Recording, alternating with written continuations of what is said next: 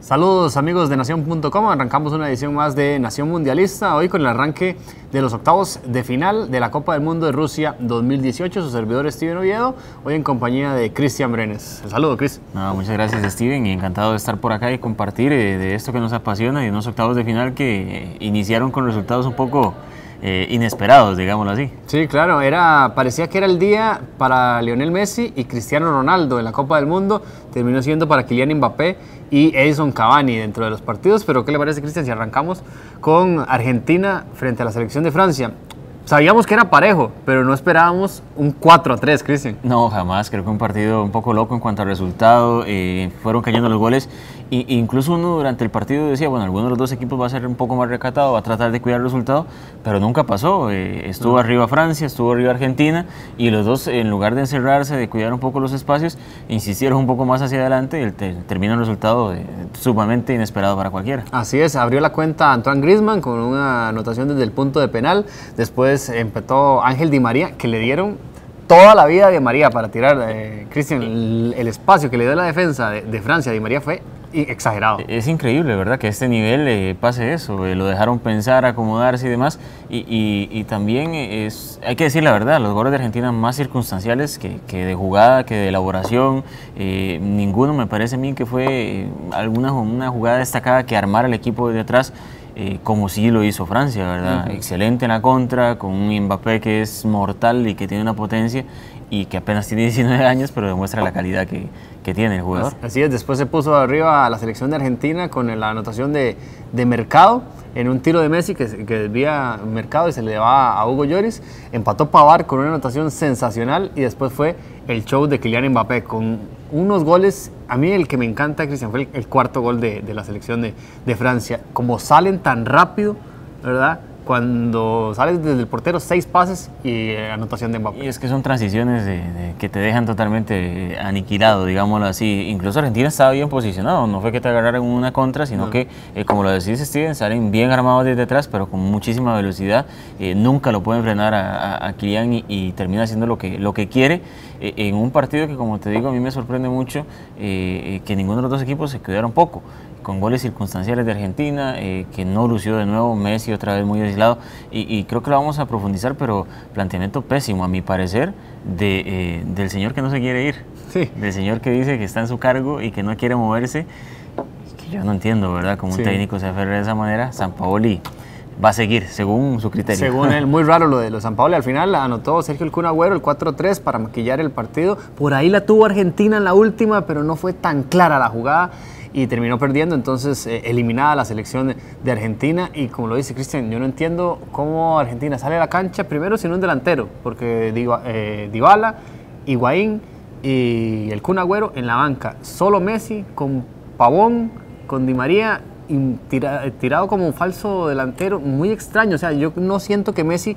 funcione ahí y no lo hemos visto funcionar ahí en el Barça. Él se tira por un costado. Y, lo más increíble es ver a Pavón y ver a Enzo Pérez que, que tienen oportunidad, que tienen minutos y un jugador como Dybala que es una estrella ya consolidada en su equipo en la Juventus y que ha hecho una gran, gran campaña previo al Mundial y que no lo utilizan, que, es un jugador de banca cuando perfectamente podría jugar él ahí en ese ataque o podría jugar el Kun Agüero que terminó anotando dos goles en su participación eh, con Argentina en este Mundial.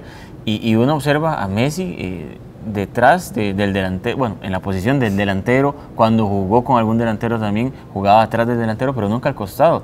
Creo que no hay que inventar lo que ya está inventado. Messi es un gran jugador que ataca por la banda derecha, que hace las diagonales hacia el centro, que es casi que incontrolable cuando arranca por el costado. Y cuando tiene más espacio. Y San Paoli hace para mí una tontería, que es colocarlo en una zona donde más aglomeración de gente tiene el rival, que es en el centro del campo, donde están los contenciones, los centrales, y muy fácil lo referencian, no le dan espacio de nada, tiene que venir hasta la media cancha y Messi desaparece por completo. No lo justificamos, es un mundial malo para Lionel Messi, hay que decirlo, es así, eh, no, no figuró, no brilló. Pero también las circunstancias no le ayudan. Pero las circunstancias, primero el equipo, que obviamente le faltan eh, más elementos en el equipo, pero también el planteamiento es pésimo porque lo colocan, como te digo, en una zona donde él no tiene espacio para poder quitarse ni a uno ni a dos, es que tiene a tres o cuatro jugadores sobre él y no le dan eh, posibilidad absolutamente nada. Y otra cosa que no entendí, porque para mí era un espejismo cuando Argentina iba ganando 2 a 1 en el partido, yo creo que no era para que Argentina lo fuera ganando.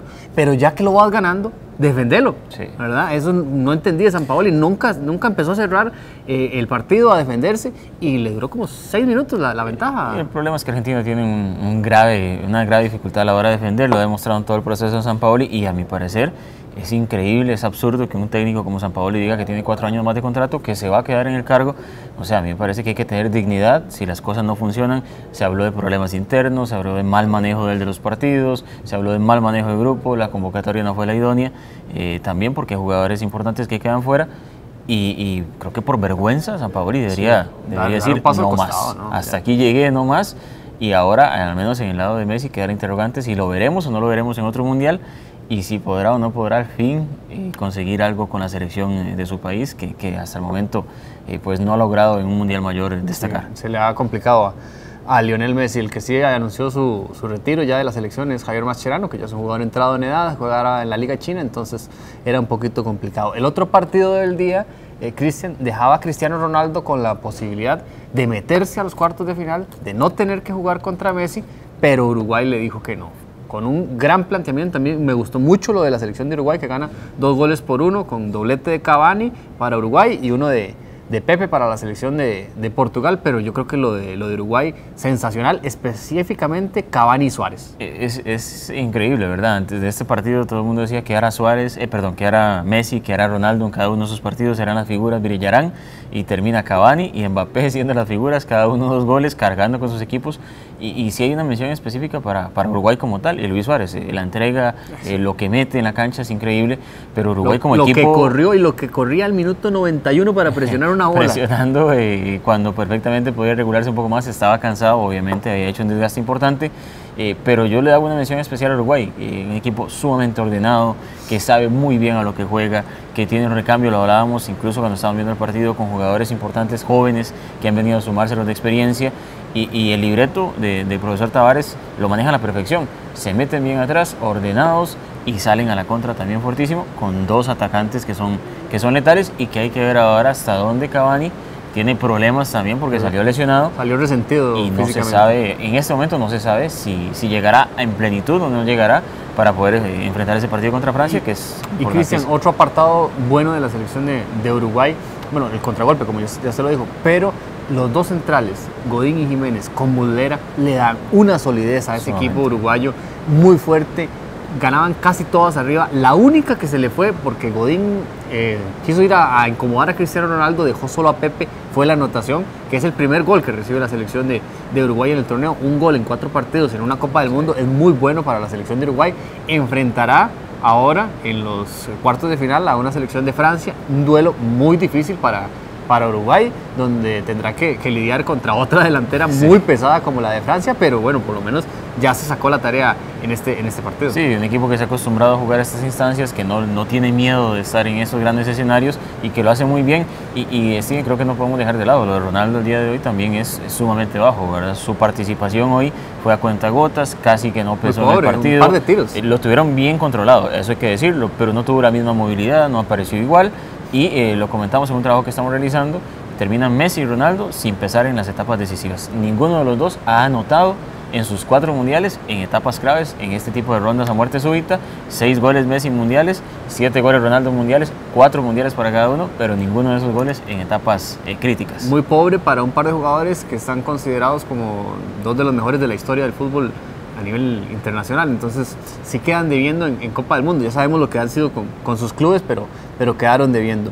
Lo cierto es que la selección de, de Uruguay avanza y la selección de Francia también avanza a los cuartos de final. Para mañana dos partidos, Cristian.